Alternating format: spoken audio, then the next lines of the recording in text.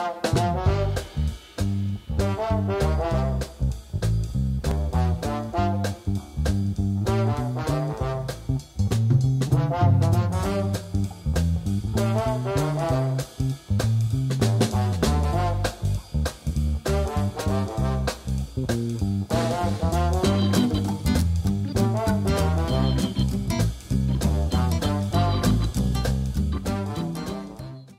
everybody and welcome back to our studios. So our next object is pretty special.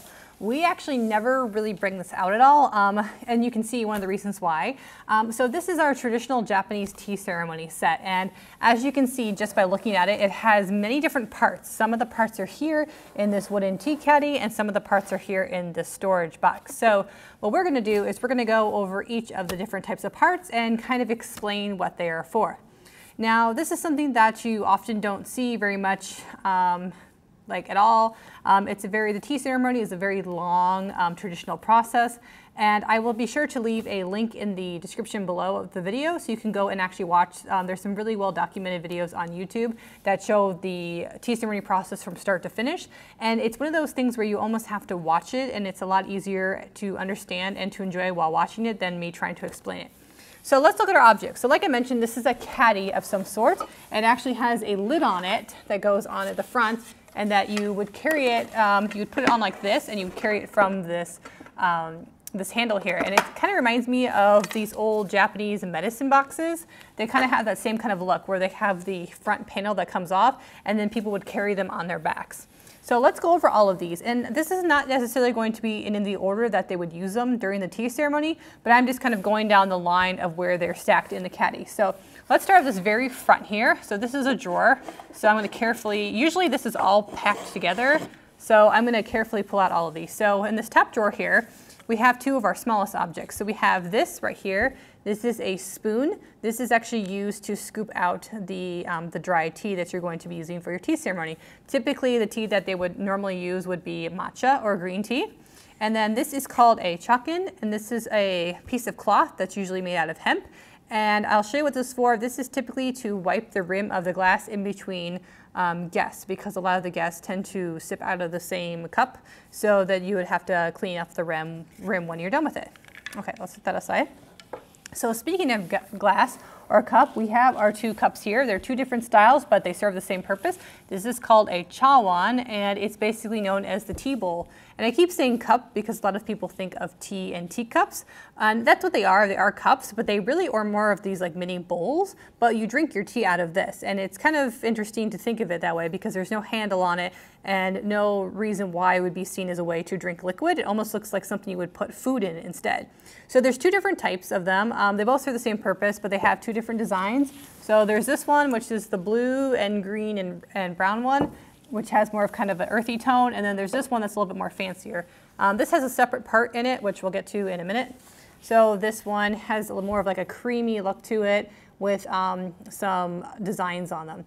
So the reason why I mentioned that these both have um, two different designs is technically when the tea ceremonies first started, um, Again, these were used for utilitarian purposes, um, similar to the Netsuke figures, where people were only using them to drink tea. So there was no really a need to make them pretty, I guess. When we think of ceramics and people who make sculptures, we think of really um, beautiful sets of bowls and glasses and silverware. But um, a lot of the artists would just kind of make these these chawan or these bowls out of these clay coils and then they would just throw them into the kiln not having a care of like what the temperature was or the types of things involved. So because of that um, ash from the kiln would actually melt and drip down onto the tea bowls so they would come out with these these like warped designs where the bowls would every time a bowl was it was created, it would be unpredictable. So it might have little speckles on it from the ash. The bowl might be a little like tipped to the side.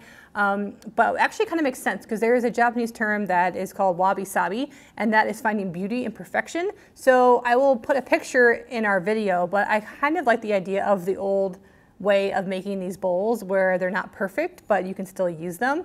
But of course, as we know later on in light, um, just like how the Netsuke figures were collected by foreigners who were coming to Japan as pieces of artwork, the chawan or the tea bowls were also seen as collector's items. So when the tea ceremony became more popular, people that were artisans decided we're going to try to make things a little bit more nice and try to make uh, I guess, prettier design. So now when you see tea bowls, a lot of them, you can still find ones that are, have the traditional design.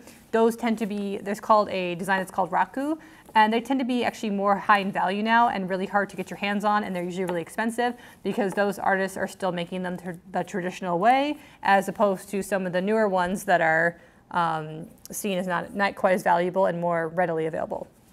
So that is what you're going to be drinking your tea out of. Oh, and since I have the tea bowl, I'll show you. So this is your cloth. Remember I mentioned you wipe it. So when after you drink your tea, so you're drinking your tea, you take the cloth and you go across the rim like this. So that's what that's used for. So I mentioned this one had a little separate part. So this is a little piece right here. This is actually for your ladle. So I will show you that in a minute when we get to our ladle so set those aside. So this right here is just a container. It doesn't really have a special name, um, but it's just a large container probably for storing um, tea. But that brings me to these guys over here. Um, these guys right here that are called natsume, and these are for storing powdered tea. Because the tea typically comes in a powdered or dry tea leaf form.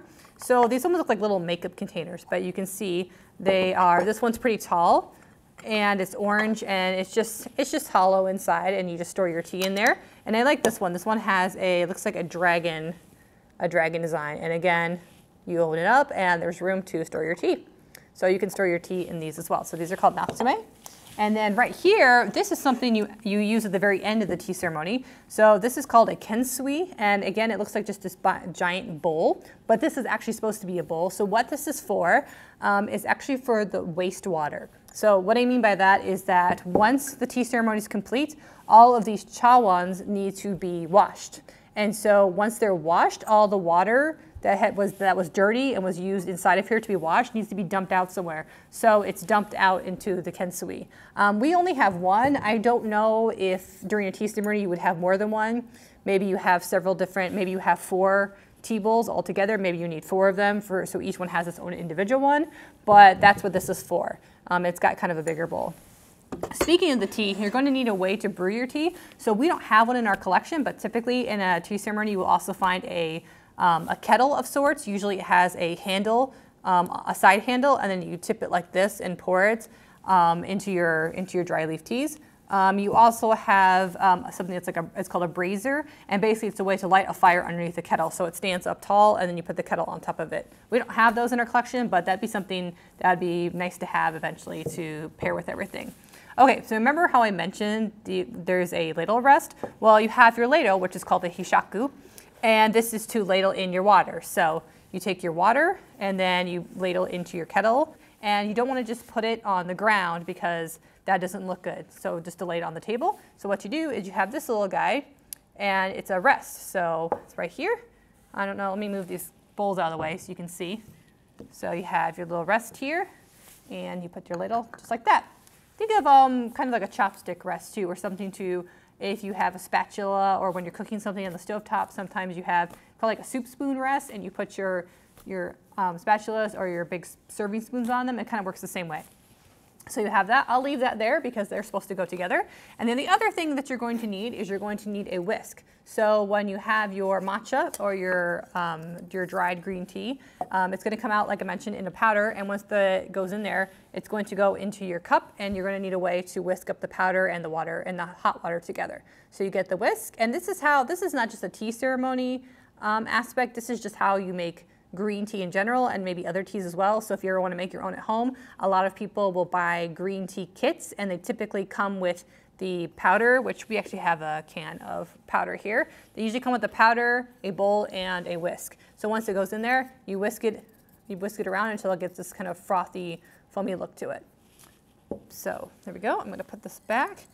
And let's see, I think those are all the parts of the Japanese tea ceremony kit. Um, thank you so much for joining me for this video. I hope you learned a little bit more about um, some of our Japanese objects. And as I mentioned, I will include uh, plenty of close-ups of some of the smaller objects, as well as some links to some videos so you can learn more about um, the culture and the significance of Japan and the Japanese art of the tea ceremony. Thanks for watching.